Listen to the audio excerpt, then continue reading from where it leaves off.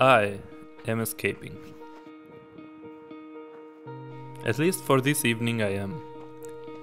Being a full time freelancer and YouTuber, I often find myself stuck inside for days. But not today. Today, I went out.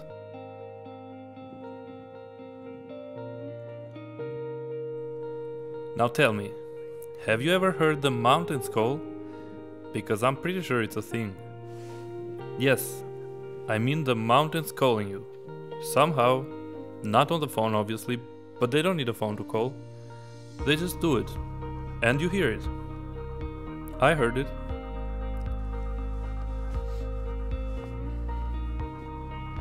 If you think that doesn't make any sense, then you're probably not thinking. Because I heard it. For example, when I woke up and it was still dark outside, I heard it.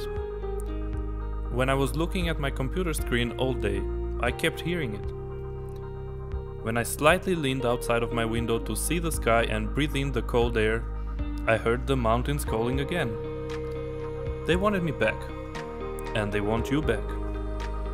Today I listened, and thank God I did. Thank God I did. But now it's your turn. Tell me, do you hear the mountains call?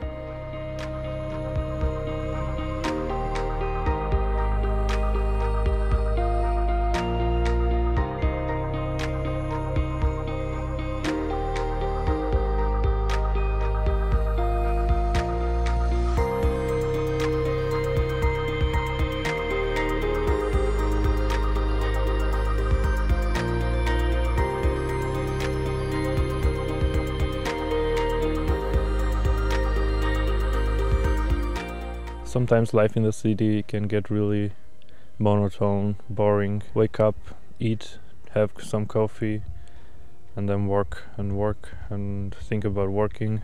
And you have all of these big buildings everywhere which are taller than you, and all you can see is buildings and the sky. Especially for us freelancers, there might be times where we just work indoors, don't even leave the house at times. And what we really need is just a trip like this nature is really curing and beautiful and it's part of our nature part of who we are. We can't live inside of a room.